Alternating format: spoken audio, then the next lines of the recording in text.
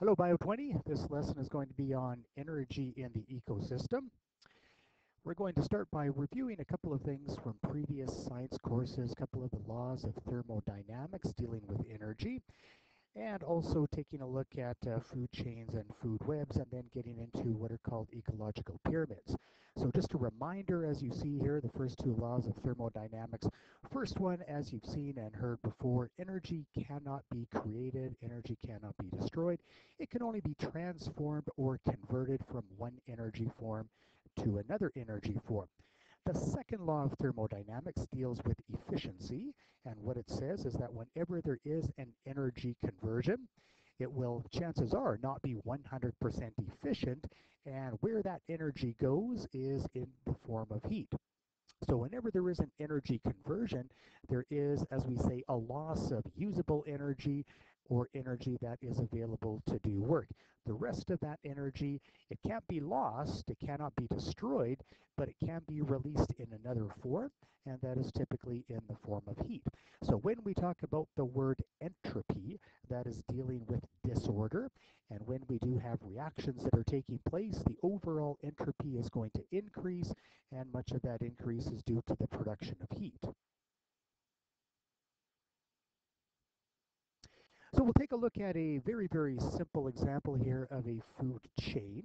So with a food chain, what we have is energy that is being passed from the producers.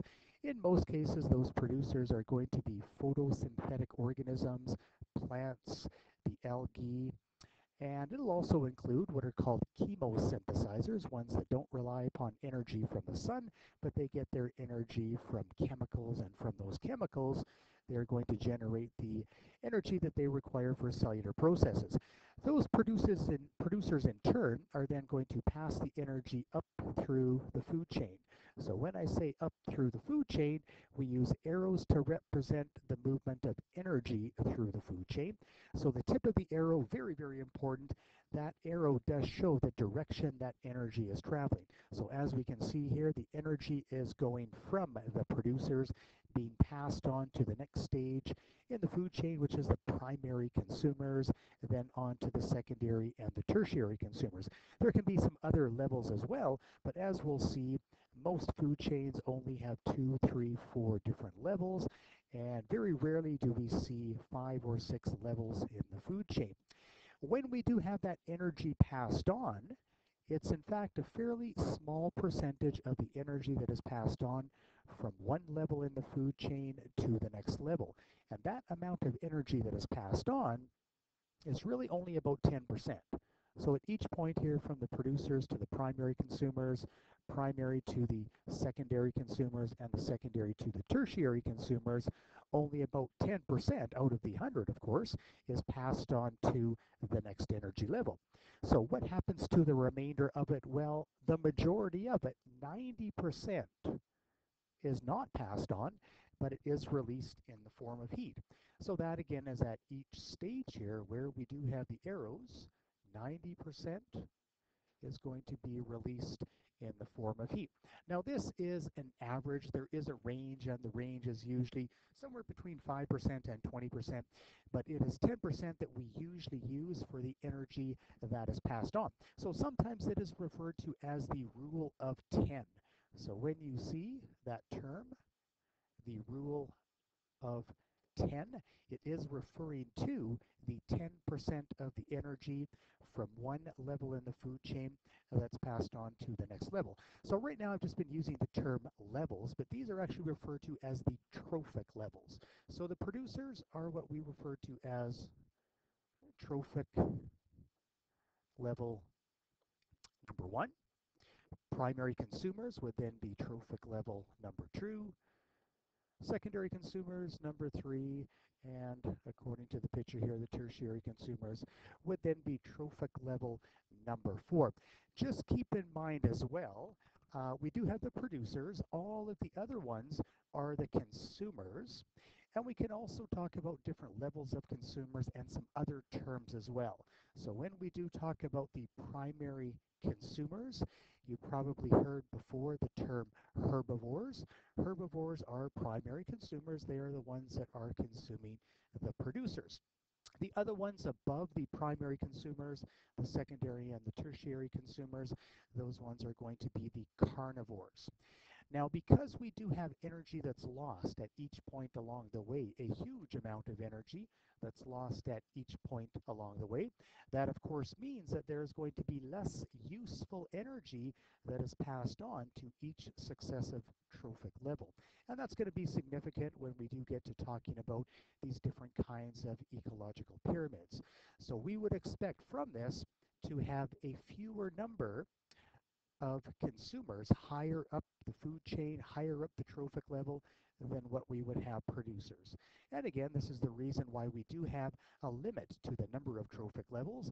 Eventually, there's just not enough energy to be passed on to support another trophic level.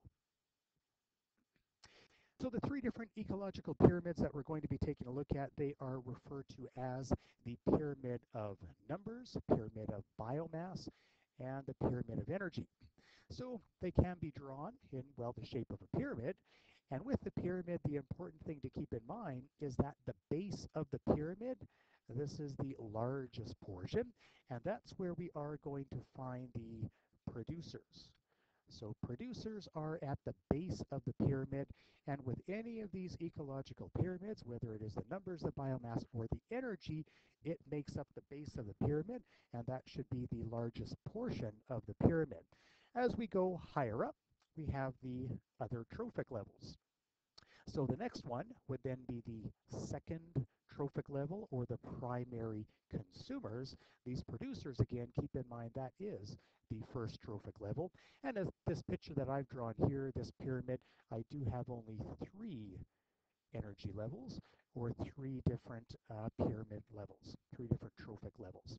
So this first one here, the pyramid of numbers, it is simply taking a look at a given area, a sample area of an ecosystem, and physically counting the number that you do have of individuals for each one of the different trophic levels. So in the given area, whatever it is, whether it's a square meter, a hectare or a square kilometer, we're counting the individuals, all of the individual producers, all of the individual primary consumers, the secondary consumers, and so on for every single one of those trophic levels. So as we do go higher up in the trophic levels, what we would expect to see is that there are fewer and fewer organisms, fewer and fewer individuals that at the lower trophic levels. And again, this has to do with the fact that not as much energy is available to those higher trophic levels. Now, there are some problems with taking a look at the pyramid of numbers, a couple of them that I identify here. And again, we have another pyramid with uh, some actual species in here for the different trophic levels. So this doesn't show the pyramid shape, but it's a very similar representation. Here we have four different trophic levels, one, two, three, and four. So if we start with the base of this pyramid, they're using as the example here the grasses, individual grass plants, individual blades of grass, I guess, if you will. They have 1.5 million. So as we go up to the primary consumers, the mice, we see that there are much fewer, 200,000.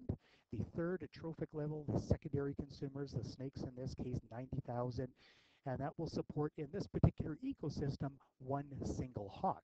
So hopefully this kind of gives an explanation as to why we only have four trophic levels. If you only have one hawk in this ecosystem, that's not just uh, that's simply not going to be able to support a higher trophic level.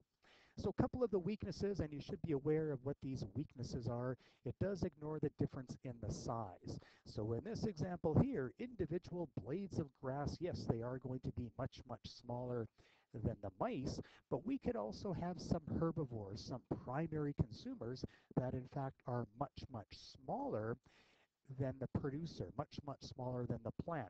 So an example that we'll take a look at on the next slide here, what we will have are insects that are consuming trees. So in this case, the tree would be much, much larger and there would be fewer trees relative to the number of insects that are feeding on them. And again, that's the example that I give here. Perhaps 1,000 aphids is probably many, many more than that feeding on a single tree. Another drawback of the pyramid of numbers is that some organisms, they can also occupy more than one position. They can occupy two, and in some cases, maybe even three positions on the pyramid. So classic example here, a bear uh, does eat uh, plants, so it is a herbivore, but it's also an omnivore. It is going to be a carnivore as well. So it's going to occupy at least two different levels in the um, food chain and the trophic levels and in this particular pyramid. So we can have, in some instances, what is called an inverted pyramid, and this is the example that I was referring, referring to, where we do have a fewer number here of producers than what we have the primary consumers, and that is simply due to the size. So again, that's one of the drawbacks of this first pyramid here, and as we can see, we no longer have that kind of classic or typical pyramid shape. The next pyramid is called the pyramid of biomass, and let's just kind of jump down to the picture here for starters. This one's a lot nicer. Again, we do have sort of the classic pyramid shape, but you'll notice that examples for each one of the trophic levels, we don't just have one single organism or one single species. In fact, we have several different producers. We have several different primary, secondary, and even tertiary consumers here. So if we take a look at a food chain, compared to a food web.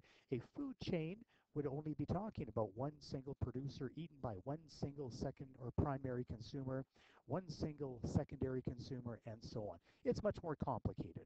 So if we do take a look at all of these different producers that we have here, all of those may be consumed by the moose. Not only are they consumed by the moose, they might be consumed by these other species as well. So when we talk about a web compared to a food chain, we have many individuals, many species, many populations occupying each one of the different trophic levels. But this one is kind of nice, and if we do take a look at what we have in each one of the boxes, it's kind of small here, but what it shows is the mass in grams per meter squared. So not now we're not taking a look at the number of individuals, but we're taking a look at the overall mass of all of the producers in that particular sample area. All of the primary consumers, all of the secondary and tertiary consumers in that particular area. So this a little bit more difficult to do. So in this case, what you do need to do is to collect all of the producers. So that includes the trees, the bushes, the grasses, what you see above the ground, the stems, the leaves, the trunks of the trees, and you also need to take what you find below the ground, all of the roots. You need to dry them out, and you need to take the total biomass of it. Not only do you need to do this with the plants, but you need to do it with all of the animals that we find at the different trophic levels. So as with the pyramid of numbers, what we would expect to see with the pyramid of biomass is there would again be less of, well, something. In this case, it's not less or fewer numbers, but it's less biomass that we find at the higher trophic levels compared to the lower trophic levels. And again, this illustrates for us the decrease in energy that is available at each one of the successive trophic levels. Still a problem with this, and one of the problems is mass per mass. Animal tissue does contain more energy, more joules per gram, more calories per kilogram, however you want to phrase it, more energy than does uh, the plant material. So there's about 20% more energy that you would find in animal material, material than what you find in plant material. So that is one of the weaknesses associated with the pyramid of biomass. The last one that I'll talk about here is the pyramid of energy, and as it says here, this one is really the best. It is the most accurate representation because we're taking a look directly at the amount of energy. This one a little bit more challenging as well. So here we need to actually use what is called a calorimeter to measure the amount of energy present in a sample from each one of the different trophic levels. So we might take one kilogram of producers, and what you're going to do is you're going to dry it and you're going to burn it. When it burns, it's going to release energy. That energy is in the form of heat, and you're going to measure how much of that heat was released. That amount of heat that was released is the amount of energy that was present in that one kilogram sample of producers that you have. Then you're going to do the same thing with the other trophic levels. You're going to relate that to the size of the ecosystem that you're taking a look at. And you're going to again generate an ecological pyramid. So this one here, same thing with our primary producers, our consumers, primary, secondary, and tertiary consumers. Now if we take a look at what we have in the box here, we do have the units of joules, which are the units for energy. If we go from the first to the second trophic level, if we take a look at these nice even numbers that we have here, we have in the second trophic level, the primary consumers, 1,000 joules. That is exactly one-tenth of the energy what we have in the primary producers. So as we talked about that rule of 10, that does mean that 10% of the energy is then passed on from the producers to the next trophic level. What about the rest of it? 90% is released in the form of heat. Exactly the same as we go from the second trophic level to the third trophic level, 10% passed on, 90% lost in the form of heat. And the last trophic level shown here as well, 10% passed on. So nice even numbers that we're taking a look at, but that is important for you to kind of keep in mind and remember that this is referred to as, once again, the rule of 10. The rule of 10 the energy in the sunlight isn't really part of a food chain or a food web, but it is kind of interesting that they stuck it in here. And what that shows is that the primary producers, when they do capture the solar energy coming from the sun, this in fact is even less efficient. So it's typically on the order of like about 1 to 2% or even less than that, the amount of energy available in the sun that is captured by the producers and converted into chemical energy in the producers.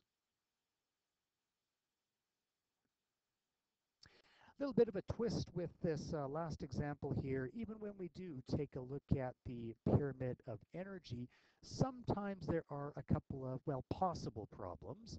So the picture that you do have on your handout, it shows only two levels. There would be more levels here in this ecological pyramid, but it only shows two of them. What it shows are whales, and these whales, what they're going to be consuming are crustaceans, tiny little organisms, marine organisms that these whales are going to be feeding on. You can think of them as tiny, tiny little shrimp, in some cases microscopic shrimp that they're going to be feeding on. So if we do take a look at this pyramid, it is an inverted pyramid, so there is something wrong with it. And what is wrong with it is really all we need to do is not just take a look at the energy in the whales, the energy in the crustaceans at one single point in time, at one single day for a given volume of water, but we need to take a look at it over a longer period of time. So if we do take a look at it over the period of a year, what we will find is that the total energy in those crustaceans is in fact going to be much, much, much greater, well about 10 times greater than the energy that you would find in whales. And this is due to the fact that crustaceans, they do have a very, very short lifetime and they are reproducing continuously, whereas whales live for decades and decades. When we talk about these microscopic crustaceans, they may only live for a few days, but they are continuously replacing that population due to the very, very rapid rate of reproduction.